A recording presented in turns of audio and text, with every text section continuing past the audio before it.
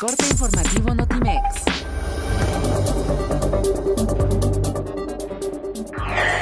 La economía mexicana ha superado las expectativas que se tenían al principio de año y para el tercer trimestre los datos apuntan a un crecimiento de 3.0% anual, destacó el secretario de Hacienda y Crédito Público, José Antonio Mid Curibreña.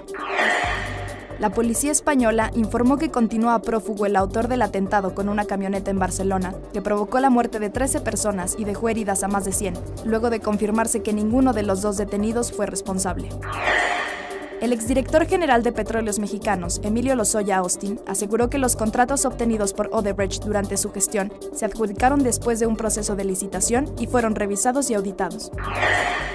La FIFA reveló la lista de 24 futbolistas candidatos al premio de Best en la categoría Mejor Jugador del 2017, donde resalta nombres como Cristiano Ronaldo, el astro argentino Lionel Messi, así como el veterano portero Gianluigi Buffon.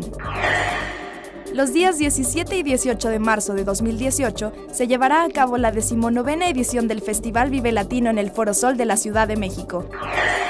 El artista plástico mexicano Bosco Sodi realizará una exposición pública en Nueva York al montar en el Washington Square Park la instalación Muro.